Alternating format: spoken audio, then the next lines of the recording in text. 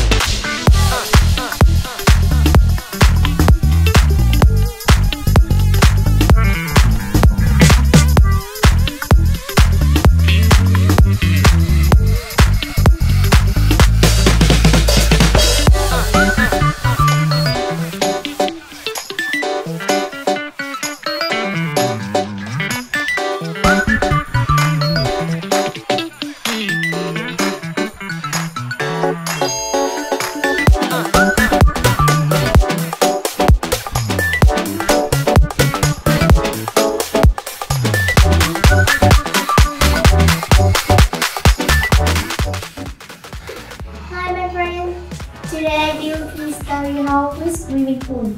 Thank you for watching. See you tomorrow.